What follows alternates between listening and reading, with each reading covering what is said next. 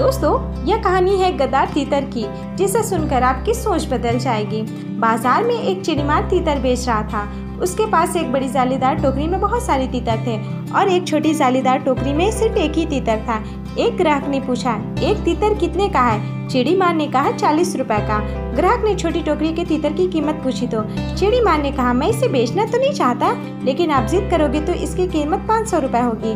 ग्राहक ने आश्चर्य से पूछा, इसकी कीमत इतनी ज़्यादा क्यों है? चिड़ी मार ने कहा, दरअसल ये मेरा अपना पालतू तीतर है और यह दूसरे तीतरों को जाल में फंसाने का काम करता है। जब ये चीख पुकार कर दूसरे तितरों को बुलाता है और दूसरे तितर बिना सोचे समझे एक जगह जमा हो जाते हैं, फिर मैं आसानी से सभी का शिकार कर लेता हूँ। बाद में मैं इस तितर को उसकी मनपसंद का खुराक दे देता हूँ, जिससे यह खुश हो जाता है। इसलिए इसकी कीमत भी ज़्यादा है। इस समझदार आदमी ने तीतर वाले को पाँच सौ रुपए देकर उस तीतर की सरे आम बाज़ार में गर्दन में डोड़ दी। किसी ने पूछा, अरे जनाब, आपने ऐसा क्यों किया?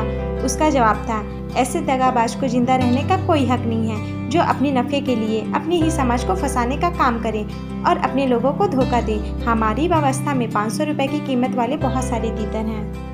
उम्मीद करते हैं ये वीडियो आपको पसंद आई होगी। पसंद आई हो तो वीडियो को लाइक करो और अपने फ्रेंड्स को शेयर करो। अगर पसंद नहीं आई तो अरे क्यों पसंद नहीं आई? कमेंट करके बताओ। और हाँ अगर चैनल पर नए हो तो चैनल को सब्सक्राइब करो और बेल आइकन को प्रेस करो। मेरी हर नई वीडियो की नोटिफिकेशन पाने के लिए तो चलो दोस्तों, मिलते हैं नेक्स्ट वीडियो में। Till then bye bye